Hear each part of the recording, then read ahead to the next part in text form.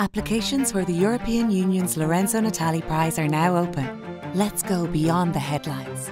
Do you shed light on untold stories, amplify voices, and stand as a guardian of press freedom? Submit your work in written, photo, audiovisual, or multimedia format in any of the four prize categories.